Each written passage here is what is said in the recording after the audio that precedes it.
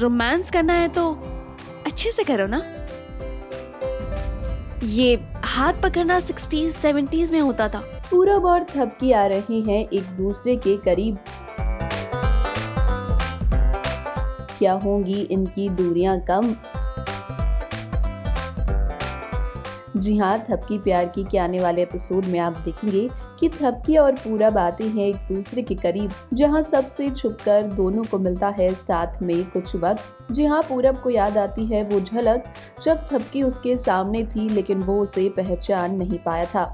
वहीं थपकी पूरब को भटका कर उसके साथ रोमांस करने की कोशिश करती है, जहाँ थपकी पूरब की बाहों में बाहें डालकर उसके करीब आने की कोशिश कर रही होती है। वेल आने वाले एपिसोड में देखना काफ़ी ज़्यादा दिलचस्प होने वाला है कि क्या ये रोमांस उनके बीच की दूरियों को मिटा पाएगा। वेल आपका क्या कहना है इस पूरी अपडेट को लेकर? हमें कमेंट सेक्शन में ज़रूर बताइएगा और इसी तरह की लेटेस्ट खबरों के लिए हमारे चैनल को सब्सक्राइब करना ना भूलें।